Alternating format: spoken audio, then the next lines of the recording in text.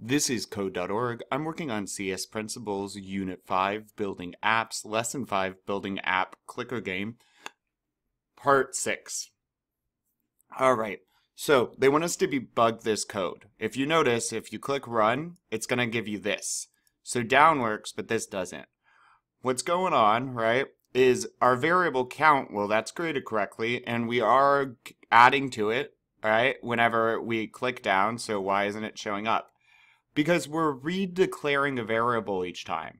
We already made count. We don't need to make count again, right? You could go to text or you could just go to equals here. Either way, you need to get rid of the declaration, this var count. We created count as a variable. We only want to add to the existing variable. There we go. Better.